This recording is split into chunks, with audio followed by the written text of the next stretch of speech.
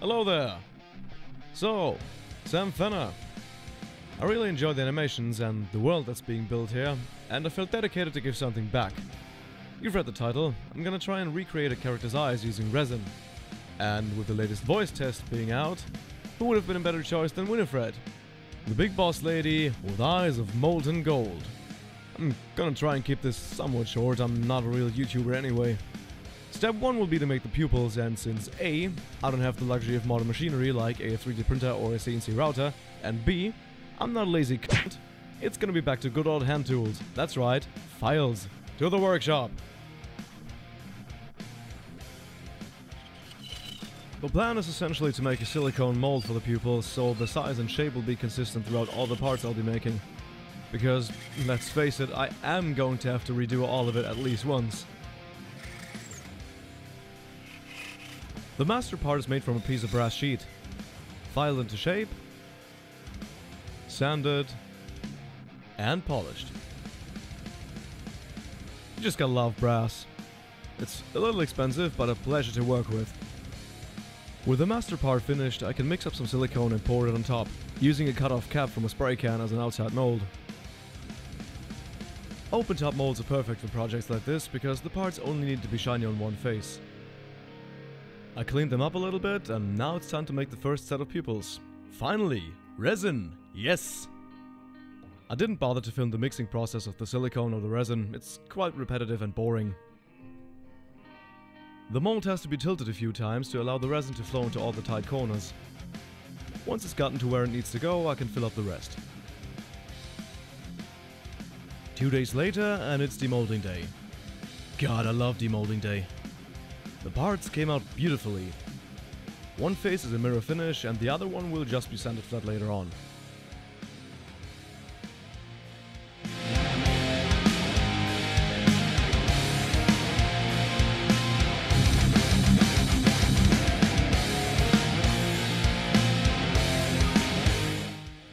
Now it's time to make the molds for the actual eyes. I used a piece of clear acrylic plate as a base and hot glued some acrylic pipe cutoffs on top.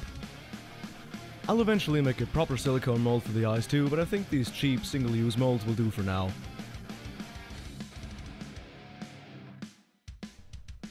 As soon as the hot glue has cooled down, I can set the plate on top of my leveling tray, which I had adjusted beforehand. Keeping everything perfectly level is essential for a project like this. Again, I mixed up some resin, 30 grams per mold, plus a little extra, dyed it black and started pouring the base layer for the eyes. I also went ahead and filled up the pupil molds again to make spare parts, you never know when they might come in handy. And spoilers, they did. A big challenge to wrap my head around was how to get the pupil centered on the base. I found a solution that worked by making this little jig right here. It's basically a round disc with the outline of the pupil printed in the center. I can stick the pupil to it, spread some super glue on the underside and lower it onto the base. Press it down, wait a few seconds, and boom, it's stuck in place.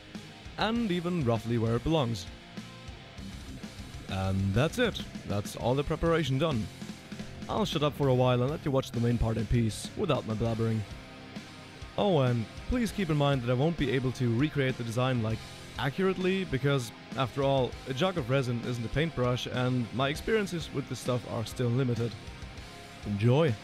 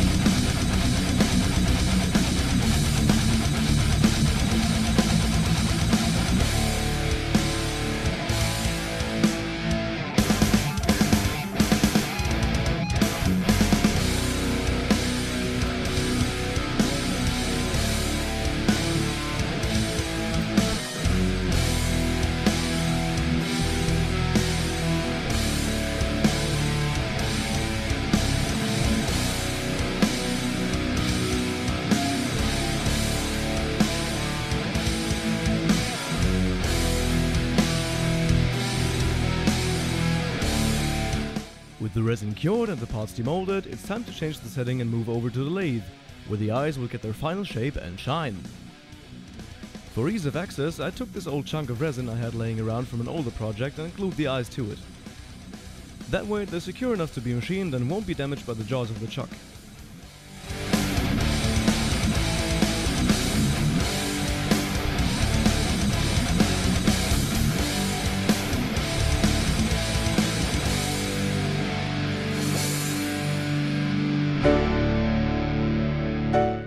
Centering them was a little tricky, but I managed to get them to run more or less true. At first I trimmed off the outside until they're evenly round.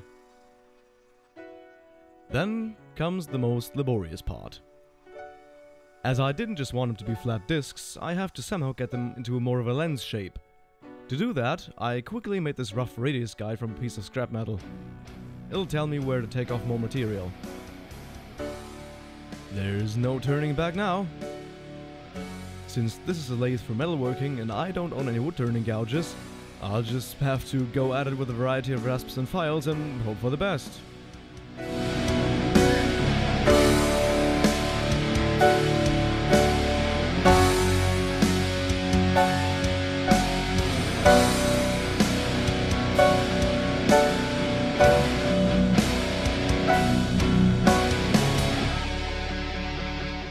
Next up is sanding.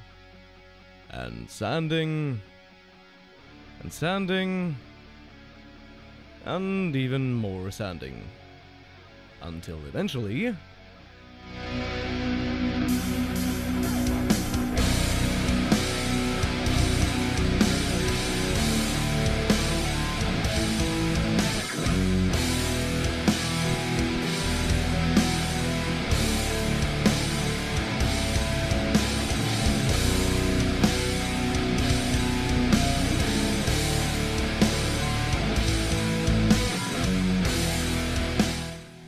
approaching the finish line now. Just one little thing left. Parting off. For anybody who hasn't operated a lathe before, this is a scary part. Many workpieces have exploded spectacularly at the not so gentle touch of a parting tool. If this goes wrong, the eye is going into the trash can. But luckily, this is resin, and resin cuts like it's nothing. Just a little more polishing now, and a protective coat of car wax, and we're done.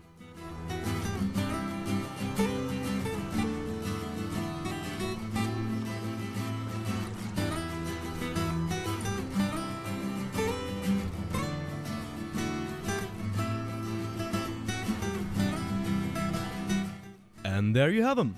I mean, literally, Sam, if you want these, let me know and I'll ship them to you. I'd love to give them to you myself, it's just a 12 hour trip or so.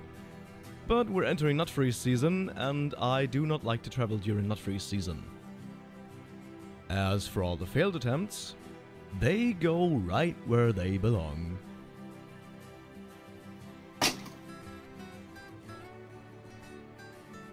I hope that this video, as rudimentary as my filming and editing skills are, has been entertaining, and I'd love to hear what you think in the comments. Cheers, and goodbye.